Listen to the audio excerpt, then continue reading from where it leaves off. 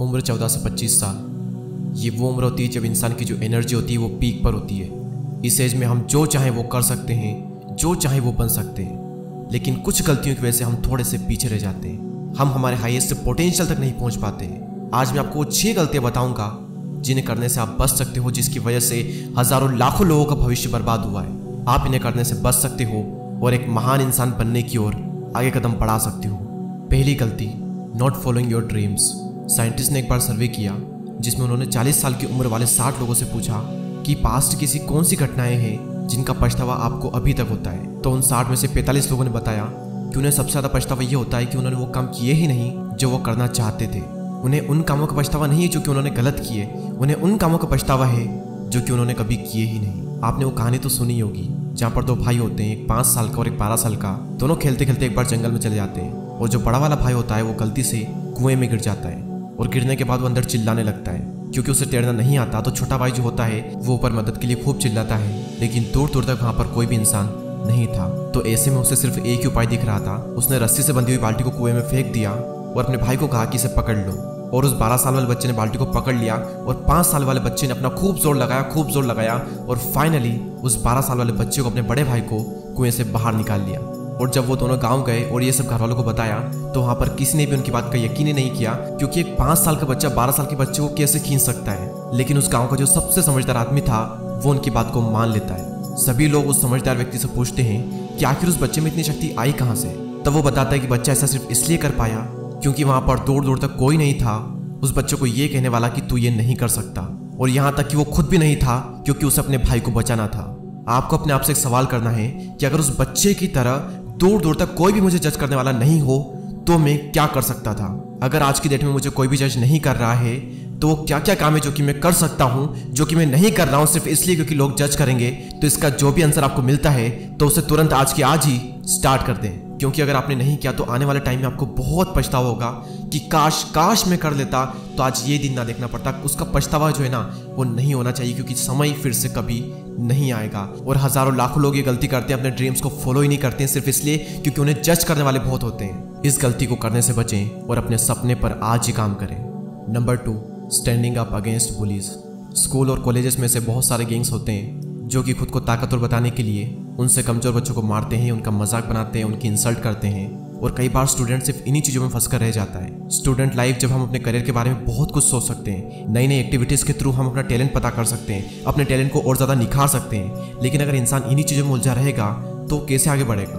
और ऐसा नहीं है कि बुलिंग सिर्फ़ स्कूल या कॉलेज में ही होती है। आपकी इंसल्ट करने वाले आपको पूरी ज़िंदगी भर मिलते रहेंगे। वो चाहे आपका ऑफ़िस हो, मोहल्ला हो, कहीं पर भी हो, आपको कहीं ना कहीं लोग मिल ही जाएँगे। लेकिन ये आपके हाथ में है कि आप इनका सामना कैसे करते हो? याद रखें, लोग सिर्फ़ उन्हीं को परेशान करते हैं, जिनको वो खुद से ज़्यादा कमज़ोर समझते हैं। तो अपनी इमेज सबसे अलग बनाओ, खुद को स्ट्रॉन्ग बनाओ। आप जैसी अपनी इमेज बनाओगे लोगों के सामने, लोग आपको वैसे ही ट्रीट करेंगे। तो अपनी जो इमेज है, वो थोड़ी स्ट्रॉन्ग बनाओ, ताकि कोई भी आपकी इंसल्ट करने से पहले दस बार सोचे। इंसल्ट के साथ में डील कैसे की जाती है, वो आपको स्वामी विवेकानंद जी से सीखना चाहिए।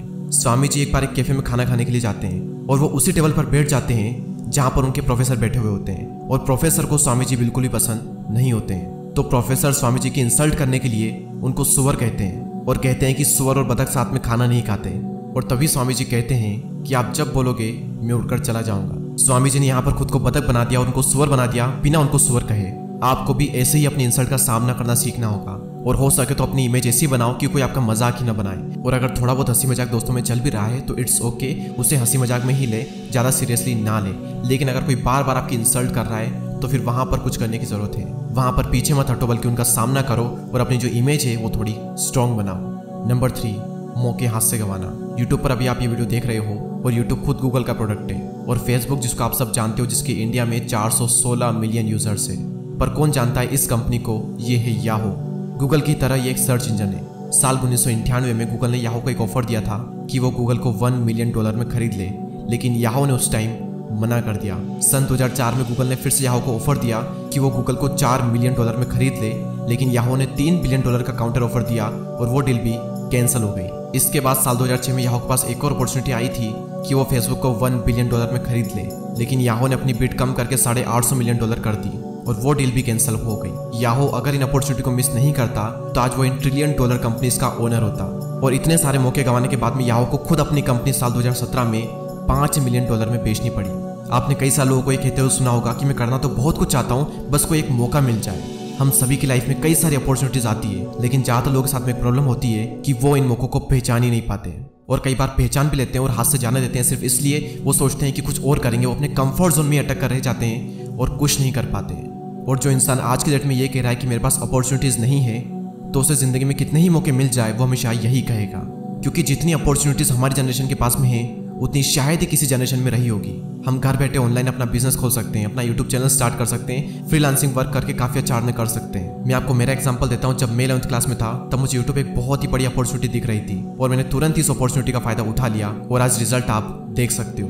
तो अगर आपको भी मेरी तरह कोई अपॉर्चुनिटी दिखती है तो उसे हाथ से जाने मत दो, बल्कि उसका फ़ायदा उठाओ, क्योंकि आपको नहीं पता कि कौन सा मौका आपकी ज़िंदगी बदल सकता है। Number four wasting your prime years आप एक बार इस विजुअल को देखिए।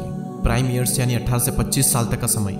ये हमारी लाइफ का वो टाइम होता है जब हमारे पास में टाइम और एनर्जी की कोई कमी नहीं रहती। आप इंडिपेंडेंट होते हो। आपके पास इतनी रिस्पॉन्सिबिलिटीज भी नहीं होती है। और ना ही आपको किसी बात का इतना स्ट्रेस होता है। लेकिन ज़्यादातर लोग इस एज में अपने टाइम को एनर्जी को पार्टी करने में गेम्स खेलने में और साथ साथ आठ आठ नौ नौ घंटे सोशल मीडिया पर वेस्ट कर देते हैं। जबकि इस एनर्जी और टाइम का यूज़ करके वो अपनी ज़िंदगी में इतना कुछ कर सकते हैं जिसका उनको खुद भी अंदाज़ा नहीं है। आप ही की एज में आपसे भी बुरी कंडीशन से निकल करके लोगों ने ऐसा ऐसा काम कर दिया जिसका आप सोच तक नहीं सकते। और आपके पास में सब कुछ है, लेकिन फिर भी आप हाथ पर हाथ धरे बैठे हुए हो और अपनी ज़िंदगी को, अपने प्राइम ईयर्स को वेस्ट कर रहे हो। ये जो एज आपको मिली है, इसमें कुछ करो, अपनी एनर्जी और टाइम का सही से यूज़ करो रिस्क लो। ज़िंदगी में एक रोमांच होना चाहिए बोरिंग ज़िंदगी हमें नहीं जीनी है। ये पार्ट आपकी ज़िंदगी का सबसे इंपॉर्टेंट पार्ट है। और अगर आप इसे ही बर्बाद कर दोगे तो समझो ज़िंदगी बर्बाद हो जाएगी। पांचवी गलती अपने आप को दूसरों से कमज़ोर समझना। जब जब हम अपने से ताकतवर इंसान, ज़्यादा नॉलेजेबल टैलेंटेड इंसान को देखते हैं तो हम ये सोच लेते हैं कि दूसरे हमसे ज़्यादा बेहतर हैं। लेकिन इसी के साथ साथ हम ये भी मान लेते हैं कि हम उनसे बदतर हैं। अगर वो हमसे ज़्यादा योग्य है तो हम ये मान लेते हैं कि हम उनसे कम योग्य हैं। आप पूरी दुनिया घूम लो। हर इंसान में आपको कुछ न कुछ ऐसा ज़रूर मिलेगा, जो कि उसमें आपसे अच्छा होगा। और हर इंसान में ऐसा भी होगा, जो उसमें आपसे बुरा होगा। आपको हर चीज़ में अच्छा बनने की ज़रूरत नहीं है, और आप बन भी नहीं सकते।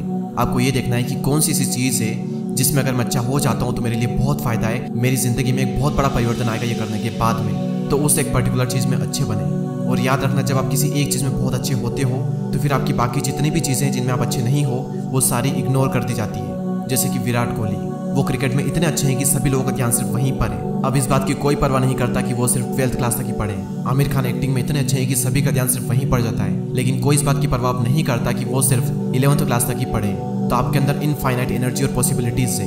और कुछ ना कुछ चीज़ों में आप बहुत ही अच्छे होंगे और साथ ही साथ कुछ ना कुछ चीज़ों में आप थोड़े कमज़ोर होंगे। तो इन थोड़ी बहुत चीज़ों की वजह से खुद को कमज़ोर ना माने। कमज़ोर आप नहीं, बल्कि आपकी सोच है। और जैसा कि मैंने कहा कि किसी एक चीज़ में इतना इंप्रूव हो जाओ, इतना ग्रो कर जाओ कि आपकी बाकी सारी चीज़ें नज़रअंदाज हो जाए। और आपकी पहचान सिर्फ़ उसे एक पर्टिकुलर काम से की जाए और बाकी सारी गलतियाँ और बाकी सारी कमियाँ उसकी वजह से छुप जाए। ये थी वो पाँच गलतियाँ।